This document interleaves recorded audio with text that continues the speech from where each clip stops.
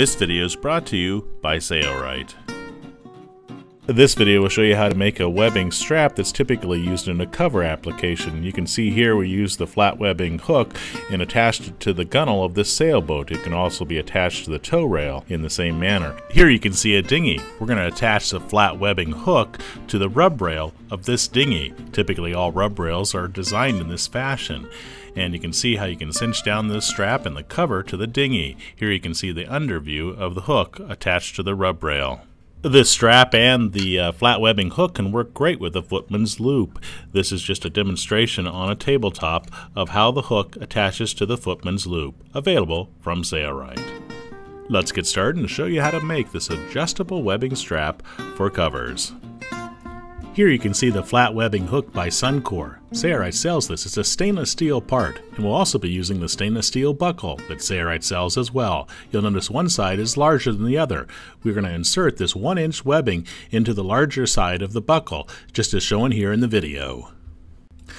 We'll loop over approximately 3 quarter to an inch of webbing on the back side and take it to the Ultrafeed LS1 sewing machine and sew some straight stitches, reversing a few times in forward and reverse to lock that webbing in place.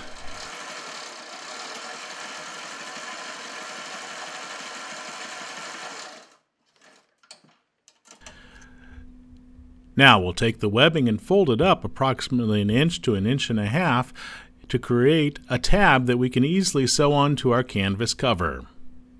There's no right or wrong way to do this, you just want enough tabs showing that you can sew, sew it to the cover securely. We're going to actually sew a box X stitch here. It's really not necessary. All we need to do is just sew in forward and reverse to lock this tab in place because we will be sewing it down to the cover as well.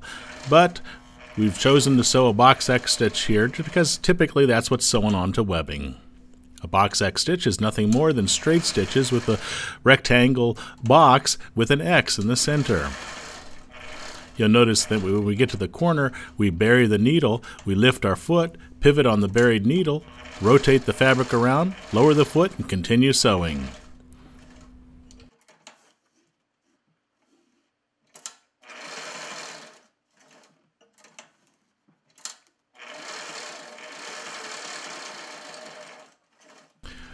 The length of webbing we're using for this video is approximately 23 inches after that buckle has been attached.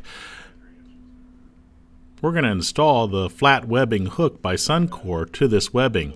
Be sure the buckle is up and the flat webbing hook is facing towards the table with the webbing feeding in through the back side.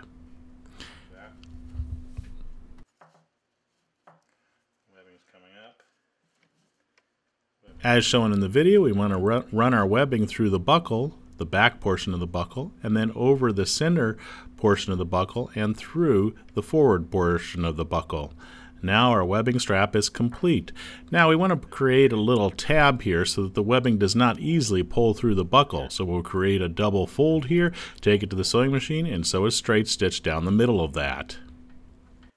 Be sure to sew down the middle of this uh, double fold here on the webbing. That way the webbing will catch on the edge of the buckle to prevent it from coming through.